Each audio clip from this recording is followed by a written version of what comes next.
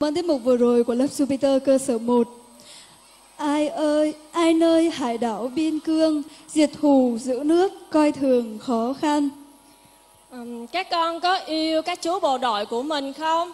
Các bạn có muốn trở thành những chú bộ đội dũng cảm không? Ồ, các bạn có biết không, có một gia đình mà tất cả các thành viên trong gia đình đều là bộ đội.